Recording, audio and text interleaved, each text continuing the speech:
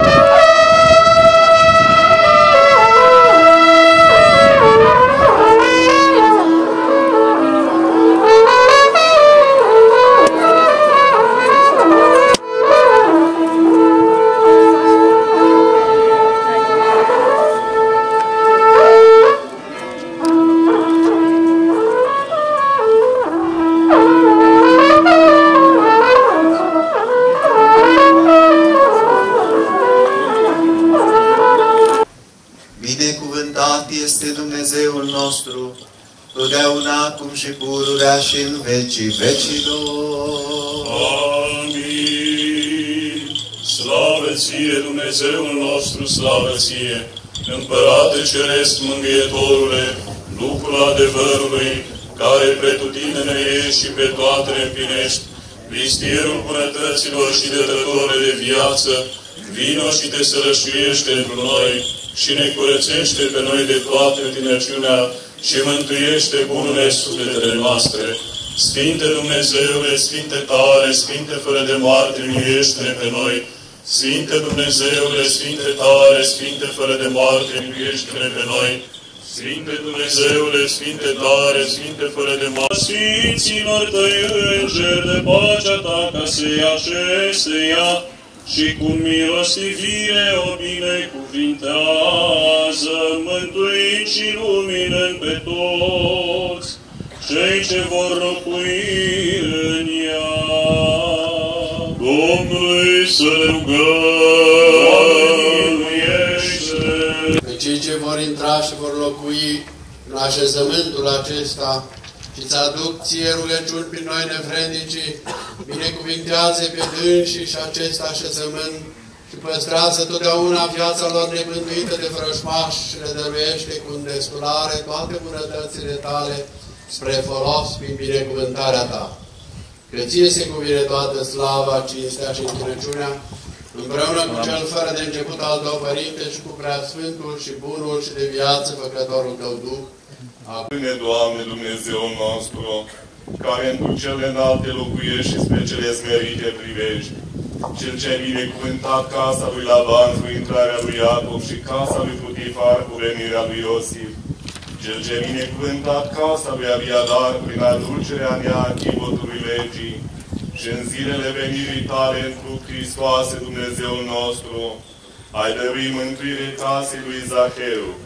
Însuți binecuvintează și acest așezământ social, cultural și cu frica ta întărește pe toți cei ce vor veni aici și ce vor lucra aici și îi păzește nevătămați de cei potrivnici și te trimite binecuvântarea ta din înălțimea locașului tău și binecuvintează și înmulțește toate bunătățile în acest așezământ.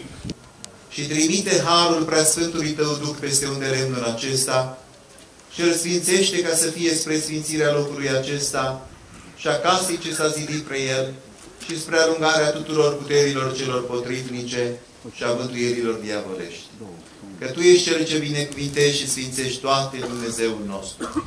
Și Ție slavă înălțăm Tatălui și Fiului și Sfântului Duh. Acum și pururea și în vecii vecilor.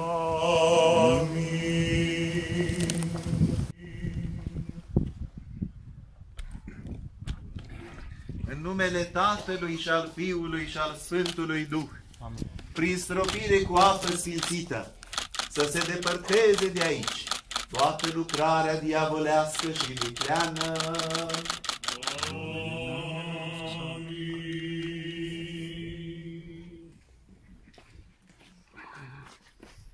În numele Tatălui și al Fiului și al Sfântului Duh, prin stropire cu această apă sfințită, să se depărteze toată puterea cea potrivnică.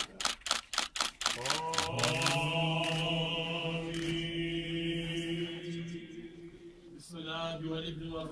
والروح القدس صوت عن كل الارواح الشريره من هذا البيت امين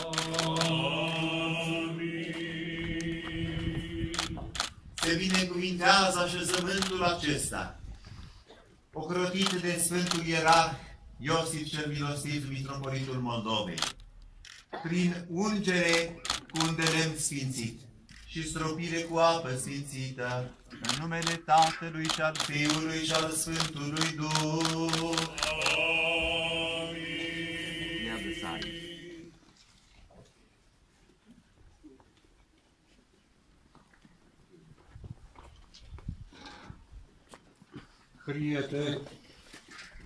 ο οίκος του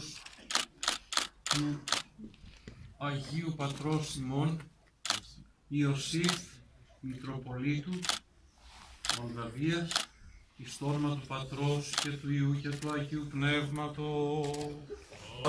Φιλοήτσα την έκπαιδη τζόση λοκρεστή. Ασούκρασε λίγο πριν την.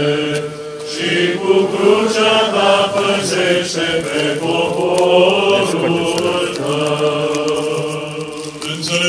Înțelepciune drept să ascultăm Sfânta Evanghelie.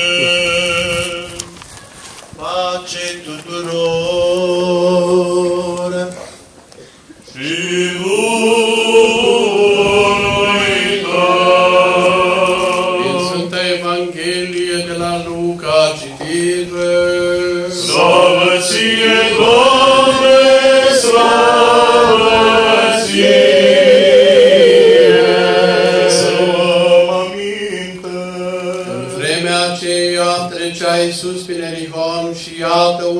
Bogat cu numele Zacheu, care era mai mare peste vame și căuta să vadă cine este Iisus, dar nu putea de mulțime, pentru că era mic de statură. Atunci, alergând înainte, s-a suit într-un dud ca să-l vadă, căci pe acolo avea să treacă. Dar când a sosit la locul acela, Iisus, privind în sus, l-a văzut și a zis către el, Zacheu, grăbește și te dă jos, că astăzi trebuie să rămân în casa ta. Auzi-ne și ne miluiește! Doamne, miluiește! Doamne,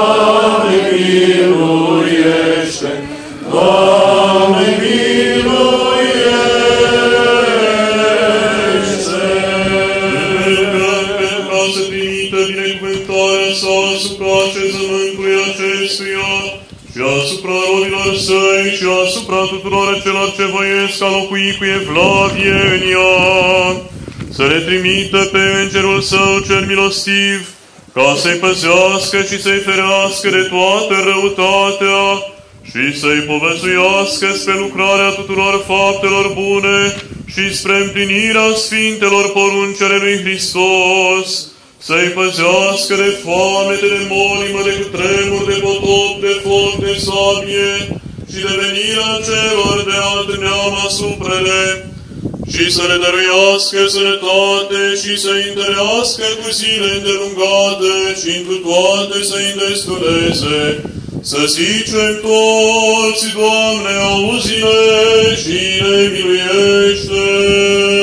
Doamne, miluiește! Doamne, miluiește! Doamne, miluiește!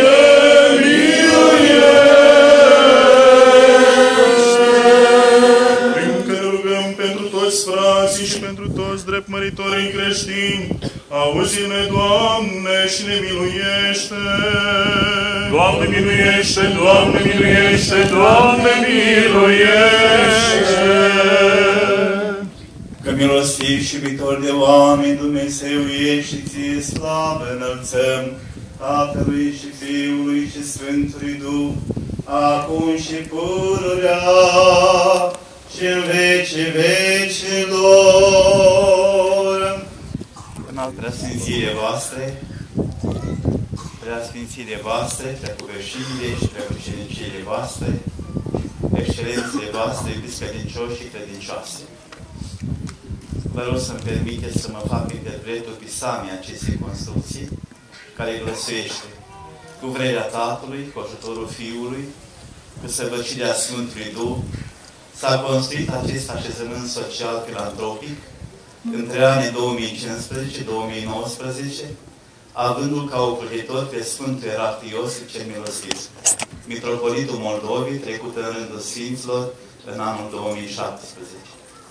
Construcția a fost realizată de firma Prestarea din municipiul Iași, condusă de Constantin Echipul, director principal al acestei societăți, după planurile arhitecților Bogdan Negoiță, Marius Tănasă, sub îndrumarea preasfințului Părinte Calvin Botoșeneanu, pe cheltuiala osteneală a părinților mănăstirii, prin contribuția pelerinilor închinători, dar și cu sprijinul consistent al familiilor, al feților Nina, Irina și Ștefan Surța, din Elveția, excelențelor Viorica și Constantin Posăna, primarul Comunei Patrile, din județul Iași, Luminița și Gheorghe Becale,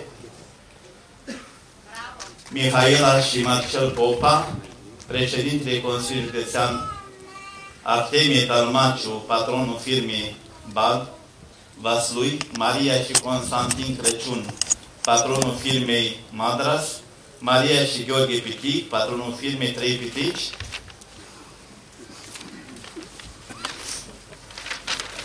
Și o casă mare. Elena și Dana Murăliții, patronul firmei Dalin. Acesta, aceasta este istoria în sinteză a acestei clădiri care s-a realizat cu binecuvântarea noastră Sfinției voastre și pentru care vă mulțumesc în altă Sfinția voastră. Bucurie Sfântă. De altfel, vă mulțumesc în altă Sfinție Părinte, Mitropolit, pentru toate binecuvântările pe care mi le-ați dat de la venirea în altă Sfinției voastre în scaunul de Mitropolit al Moldovei și Bucovinei pentru continuarea lucrărilor de noire ale mănăstirii. Și nu au fost deloc puține, dar și pentru faptul că la slujbele importante din viața mănăstirii, atunci când nu puteați fi prezent, rânduiți mereu pe câte un erah membru al Sfântului Sinod. Cum arată chipul uneia dintre multele binecuvântări pe care le-am primit de-a lungul timpului la înaltă Sfinția voastră, nu trebuie căutat în invizibil, ci s-a sfințit în seara aceasta de către înaltă Sfinția voastră, împreună cu acest destins sobor de erahi, membri ai Sfântului Sinod, ale, Biseric ale Bisericii Ortodoxe Române, preoți și diaconi, într-un moment de maximă tensiune spirituală, prejuită de prăznuirea Sfintei Preacuvioase Maicii noastre Parascheva, ocrotitoarea Moldovei și pentru care oftea Sfinte noastre mănăstiri, vă mulțumesc și cu toată recunoștința noastră, Sfinția voastră. Respectoase și smerite mulțumiri adresez prea fericitul Părinte Patriar Daniel, nu doar pentru toate noile care s-au realizat la mănăstirea noastră în timpul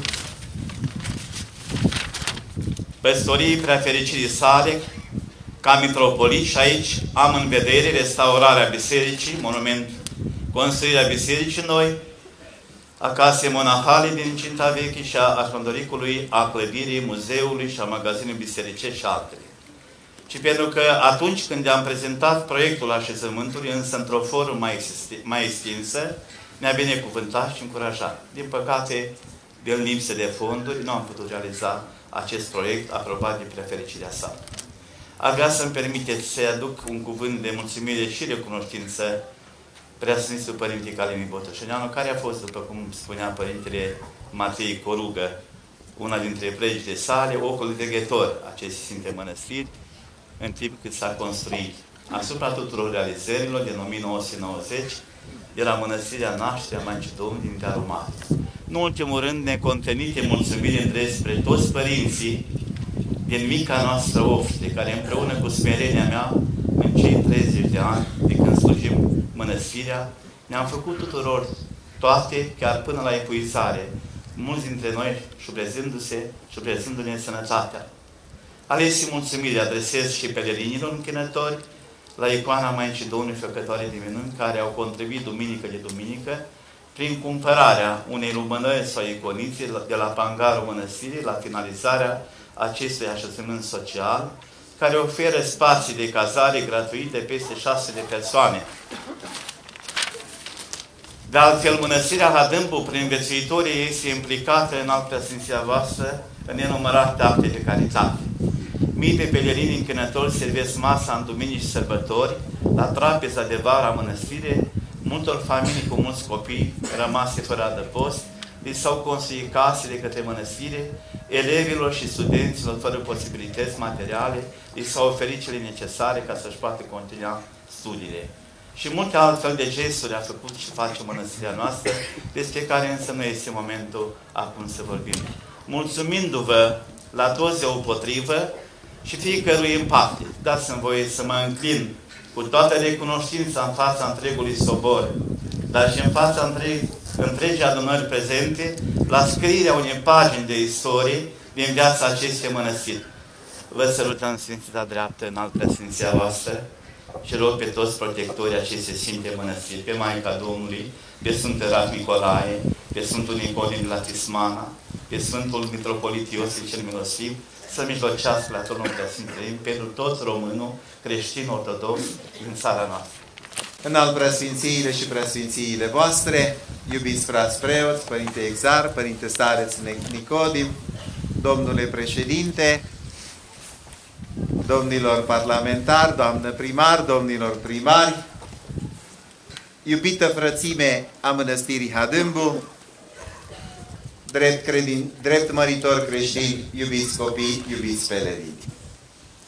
Fiecare om este dăruit de Dumnezeu cu ceva special. Fiecare țară se distinge în ansamblul națiunilor lumii cu ceva specific. Fiecare epocă istoric, istorică aduce ceva în cursul vieții omenești de de, de mult până în zilele noastre. Și mănăstirile au ceva specific cu mila lui Dumnezeu sau o amprentă lăsată de viețuitorii acestor mănăstiri. Dacă vorbim de neam, mănăstirea Neamțu, încercăm să înțelegem fabuloasa istorie. Mănăstirea Sihăstria cu minunații ei duhovnici sau mănăstirea de alături Dobrovăț cu pictura inegalată. În acest sens și în această lumină, care este locul specific al mănăstirii Adâmbu? Cred că în două privințe, în mod special nu numai, dar în două privințe putem să o definim ca având ceva aparte în raport cu alte mănăstiri. Pe de o parte, anver, anvergura edilitară de excepție, iar pe de altă parte, diaconia adică slujirea îndreptată către pelerii. Acestea sunt, nu doar acestea, dar acestea parcă le consider ca amprenta specifică a mănăstirii adânc. Dumnezeu a rânduit aici și de-a lungul istoriei să fie obște monahală. Istoria acestei, istoria acestei obște a fost întreruptă datorită greutăților istoriei, dar iată Dumnezeu, prin decizia Părintelui Patriarh Daniel, l-a așezat aici pe Părintele Nicodim și puțin câte puțin, din bisericuța așezat acolo și din micul corp de chilii și din uh, zidul împreșmuitor, iată puțin ca un val, s-au tot revărsat milostivirile, milostivirile lui Dumnezeu și s-au înălțat biserica, corpul cel vechi, al uh, cel deja devenit vechi vis-a-vis -vis de cele care sunt clădite mai recent, mila lui Dumnezeu, ocrotirea Maicii Domnului, văd că Părintele vrea să fie și mai îmbogățit și cu alte ocrotiri, a hotărât și am binecuvântat ca, ocrotitor, ca această clădire să fie ocrotită de Sfântul Ierarh Iosif cel Milostiv. Așa puțin câte puțin, Mănăstirea Hadâmbur a devenit gazdă săptămânal pentru mii de pelerini. Apoi a aruncat parcă o rază de lumină asupra acestei zone, mai sărace, prin consecințele istoriei și de pe toate văile din jur, parcă privim spre, mână, privim spre mănăstirea Hadâmbu ca o lumină care se revarsă peste dealuri și peste văi. Și din punct de vedere monahal, căci zona nu este atât de bogată în mănăstiri, precum suntem noi obișnuiți cu alte zone din Neamțu sau din alte județe ale țării. Îi mulțumim lui Dumnezeu pentru, și pentru această frumoasă lucrare, Dumnezeu să-l aibă în bază pe Părintele Nicodim, să răsplătească obștea cu mântuire în primul rând și viețuire frumoasă, atâta timp cât Dumnezeu ne îngăduie să locuim pe acest pământ, Dumnezeu să binecuvinteze pe toți cei care s-au adunat aici, puțin câte puțin, apoi din ce în ce mai mulți, și au ajutat la tot ceea ce vedeți aici. Numele menționate de Părintele sunt doar câteva din cele multe care s-au adăugat aici. Printr-o rugăciune amintea Părintele de lumânarea, poate de pomelnicul, de iconița luată de la Bangar. Știe Dumnezeu că din mici și foarte multe izvoare, în cele din urmă se naște un râu, un fluviu în cele din urmă. Permiteți-mi așadar să mulțumesc soborului de arherei aici de față, în al preasfințitul Nectarie, în al preasfințitul din Corful, în al preasfințitul Laurențiu de la Sibiu, preasfințiții pe care pe mulți îi mai cunoașteți aici, Vlădica Galaction, Vlădica preasfințitul Cais din, noi zicem, din Arabia, din Arabia cea veche de altă dată, preasfințiții Veniamin și Antonie, poate am mai uitat pe cineva.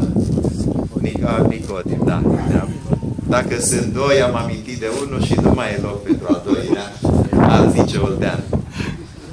Încât uh, mulțumim lui Dumnezeu pentru tot și pentru toate și permiteți-mi să dăm citire și îl rog pe Părintele Exarh să dea citire documentului pe care l-am primit de la Sfânta Patriarhie, adică Hrisovul care menționează darul făcut Părintelui Nicodim în Domnul nostru Iisus Hristos și de a prețui după cuviință strădanile și rezultatele activităților de excepție desfășurate în diferite domenii ale vieții bisericești și civile în sprijinul bisericii, pe temeiul prerogativelor conferite nouă de statutul pentru organizarea și funcționarea Bisericii Ortodoxe Române și ca semn al prețuirii și binecuvântării noastre, acordăm distinția onorifică Crucea Patriarhală Arhimandritului Nicodim Gheorghiță, starețul Mănăstirii Hadân,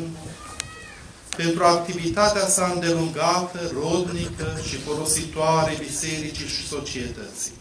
Dată în reședința metropolita, în reședința noastră patriarhală din București, în anul mântuirii 2019, luna octombrie, ziua 13, semnează prea fericitul Părinte Patriarh Daniel, Patriarhul Bisericii Ortodoxe Române.